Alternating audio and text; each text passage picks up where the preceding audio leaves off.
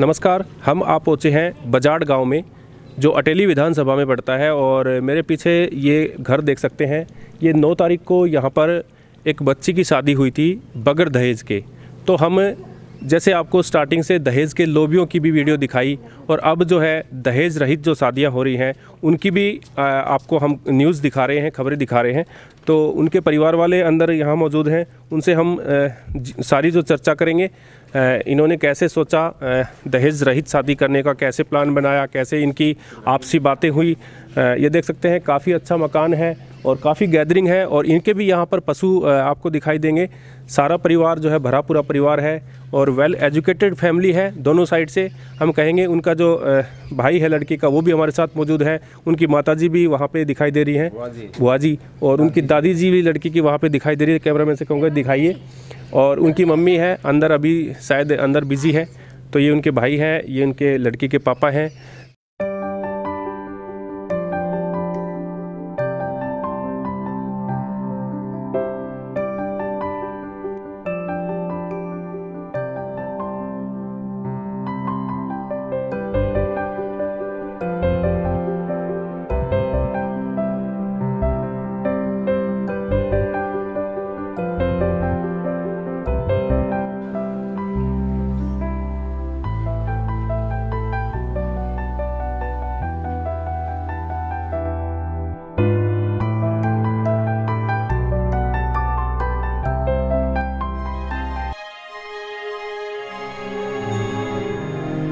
Sir, सबसे पहले हमारे चैनल में आपका स्वागत करते हैं। सर, मैं आपका बहुत बहुत शुक्रगुजार हूँ। आपने ये मुहिम इतनी अच्छी चला रखी है और इससे ज़्यादा मुझे खुशी की बात और कुछ हो नहीं सकती। अगर मुझे ऐसे अच्छे रिश्तेदार मिले और इतनी बढ़िया मुझे उन्होंने मोटिवेट किया, उन्होंने मुझे पर एक ऐसा, अपने आप पर एक एहसान समझा कि आप अपनी बेटी जो है ना, मुझे तो सिर्फ़ आपकी बेटी ही चाहिए और आपसे मुझे दहेज की तो आप मुझे, मुझसे बात ही मत करो। अगर आपको दहेज कहीं देना है तो आप कहीं भी अपनी बेटी का रिश्ता कर सकते हो और मुझे एक पढ़ी लिखी बहू नहीं मुझे एक बेटी चाहिए क्योंकि मेरे पास खुद के पास एक बेटी नहीं है। और मैं अपने आप से एक संकुचित महसूस करता हूँ कि मैं भी एक बेटी का बाप होता तो मैं भी अपनी बेटी का कन्यादान करता। तो ये देख सकते हैं बहुत बड़ी बात है। उन्होंने हमने कल उन, उनका भी इंटरव्यू किया था और काफ़ी बड़ी बात जो है उनके यहाँ सुनने को मिली थी। और उन्होंने साफ़ साफ़ शब्दों में ये कहा था कि बेटी ही एक सबसे बड़ा धन होता है। जो बेटी अगर सही परिवार में आ जाए और परिवार का पालन पोषण सही तरीके से कर जाए तो वो जो परिवार है, वो फले फूलेगा। और तो हमारे साथ ये देख सकते हैं, उनकी माताजी भी दिखाइए। वो माताजी भी बेटी की माताजी है, वो भी आ चुकी है। और उनसे भी हम आपको रूबरू करवाएँगे। सर, ये बताइए, जैसे शादी में जिस तरह से आवाज़ें उठती हैं दहेज को लेकर के तो सर वो क्या सोचते हैं आप? किस तरह आपकी तरह जैसे जैसे दहेज ना लेकर के ना, ना दे करके उन्होंने दहेज ना लिया तो समाज में आपके गाँव में भी जैसे बजाड़ गाँव में आप रहते हैं तो काफ़ी बड़ा मैसेज गया होगा क्योंकि पेपर के माध्यम से भी और ऑल ओवर हरियाणा में इस तरह की मैसेज आते हैं सोशल मीडिया के माध्यम से भी मैसेज आते हैं तो सर क्या कहेंगे जैसे सिर्फ़ इक्यावन पौधे उन्होंने लिए और इक्कीस पगड़ी जो सम्मान की पगड़ी होती है, वो उन्होंने जैसे सम्मान स्वरूप उन्होंने हासिल की है आपसे और बड़ी खुशी महसूस कर रहे हैं कि हमने कुछ अच्छा समाज में मैसेज दिया है। तो सर, आपका क्या सर, इसमें मैं सबसे बड़ी बात तो आपको ये कहूँगा कि जैसे हमने जैसे शादी की है तो जैसे जिस प्रकार अगर दहेज की प्रथा हमारे यहाँ बहुत ज़्यादा चल रही है, सभी को नौकरी वाला लड़का चाहिए और नौकरी वाला लड़का मिल जाए तो हम पता नहीं क्या लगा देंगे। मेरी ऐसी सोच नहीं थी कि मुझे नौकरी वाला, मुझे ये सोच थी भाई पढ़ा लिखा लड़का चाहिए।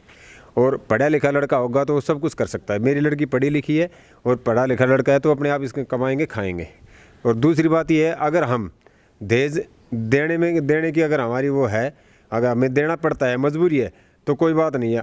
कम से कम हम ये सोच लें कभी हमें दहेज लेना ही नहीं है तो इससे बहुत अच्छा रहेगा। सर जैसे आपका अगर हम परिचय देखें क्योंकि क्या नाम है सर आप कहाँ क्या कुमार नाम है मेरा और मैं जी क्या काम करते हैं? क्या मैं किसान हूँ जमींदारा का काम है मेरा बस तो और देख सकते हैं किसान में होते हुए क्योंकि आ, सोच अगर इंसान की अच्छी हो तो ज़रूरी नहीं है कि दहेज को बढ़ावा दिया जाए।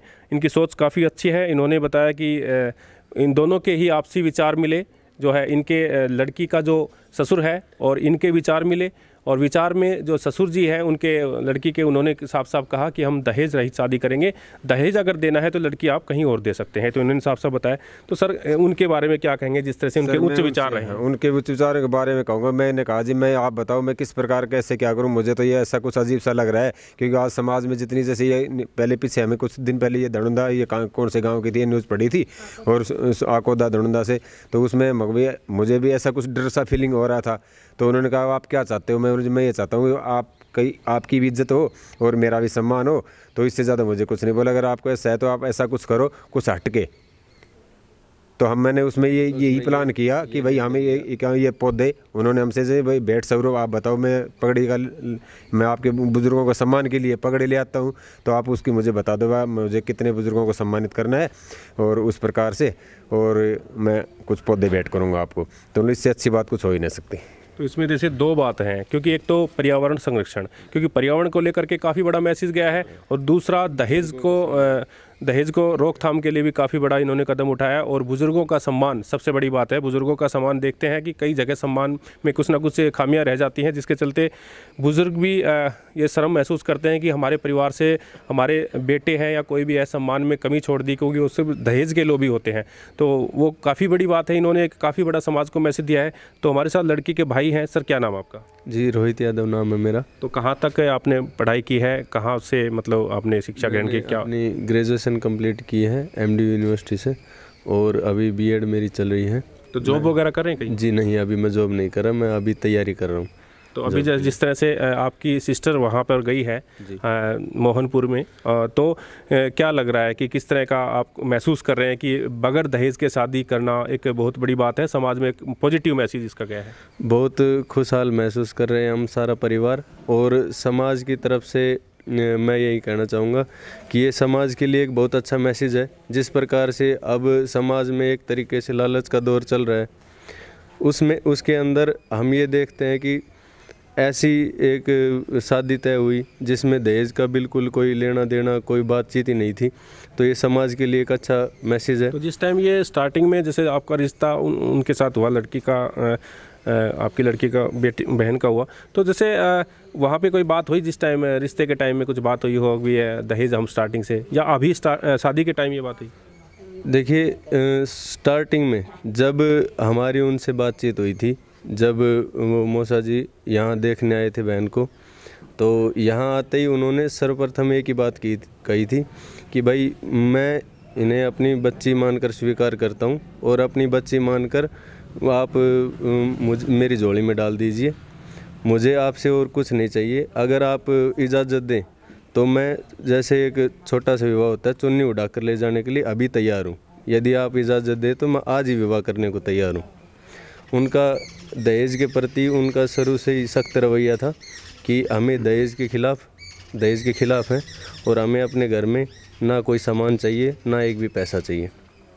इस प्रकार से उन्होंने विचार शुरू में भी बताए थे हमें और शादी के समय भी बिल्कुल एकदम सख्त तरीके से उन्होंने मना किया था कि भाई, दहेज जो होता है, वो समाज और मानवता और परिवार के इनके खिलाफ़ होता है। तो दहेज एक बुरी चीज़ है।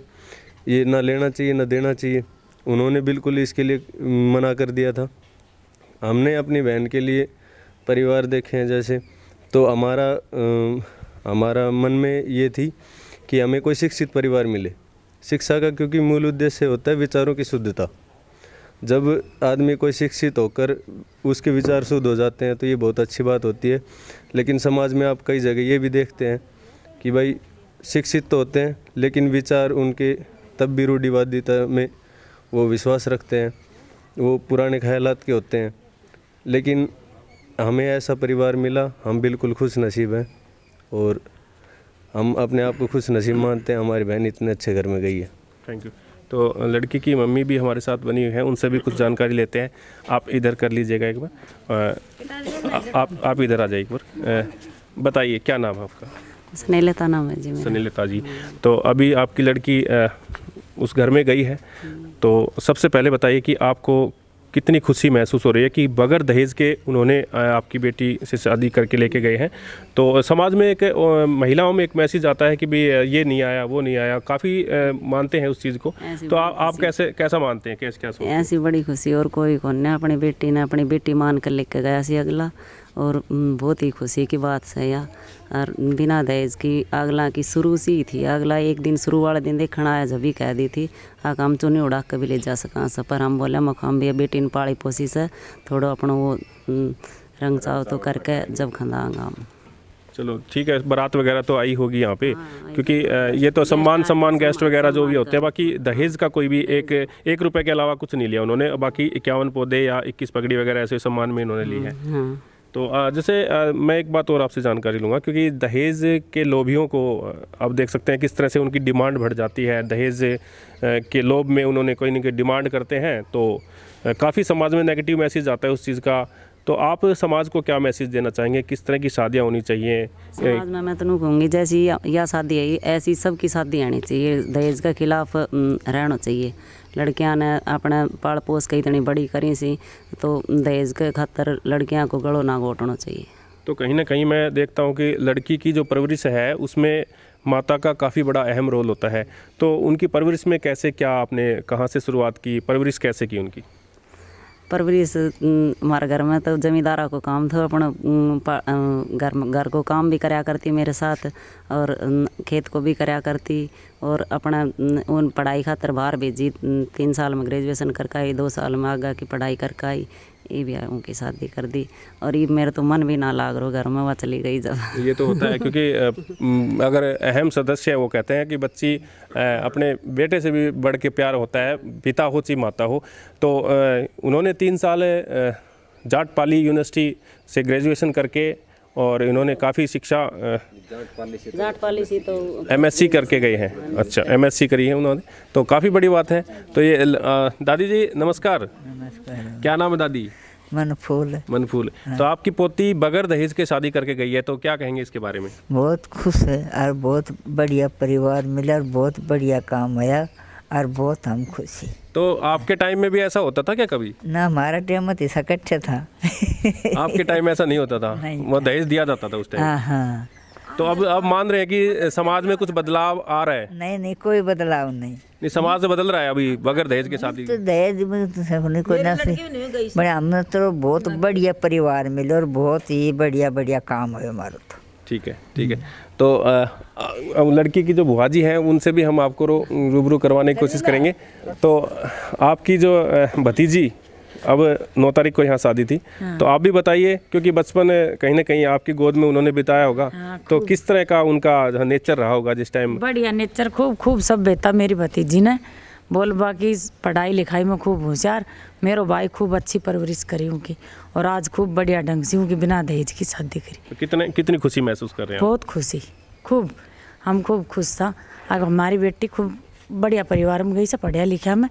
उनको ससुर इतना अच्छा मैंने बिल्कुल दहेज नहीं चाहिए मैं अपनी बेटी की तरह रखूँगा मेन। तो है उनको बेटी नहीं है तो वो अपनी बेटी बना के लेके हाँ। अपनी बेटी बना के लेके गया ठीक है। तो ये देखिए समाज में एक पॉजिटिव मैसेज है। कि दहेज ना तो लेना चाहिए ना दहेज देना चाहिए। तो इन्होंने एक पहल की है। मैं ये चाहता हूँ कि समाज में ऐसी पहलें और भी करें और ये लड़के के दादाजी हैं। लड़के लड़की के दादाजी हमारे साथ बने हुए हैं। सर क्या नाम है आपका? रतन जी। रतन लाल जी। तो सर बताइए जैसे आपकी पोती जो है बगैर दहेज के शादी करके वहाँ गई है तो अब कैसा महसूस कर रहे हैं? राज़ी मोड में। तो क्या कहेंगे उनके बारे में जो सर हैं वहाँ टीचर हैं? उनके बारे में क्या कहेंगे? जो नवल किशोर जी हैं। बढ़िया है बहुत अच्छा आदमी है राज्य आप, के लिए। आपने ऐसे पहले भी कभी देखा होगा इस तरह की शादियाँ जैसे हो रही हैं? नहीं, नहीं, समाज में आपके यहाँ हो ये गाँव में? आज यही है ये भी यही हो रहा है आपके गाँव में पहले ऐसी शादी नहीं हुई? नहीं यही हटे तो देख सकते हैं। गाँव में तो ये देख सकते हैं काफ़ी बड़ा जो है मैसेज एक समाज में गया है क्योंकि ये गाँव काफ़ी चर्चित गाँव रहा है अटेली विधानसभा का और यहाँ पर इन्होंने एक पहल की। तो मैं ये कहूँगा कि सभी लोग इसमें आगे बढ़कर आएँ और पहल करें। जिससे कि समाज में एक पॉजिटिव मैसेज जा सके।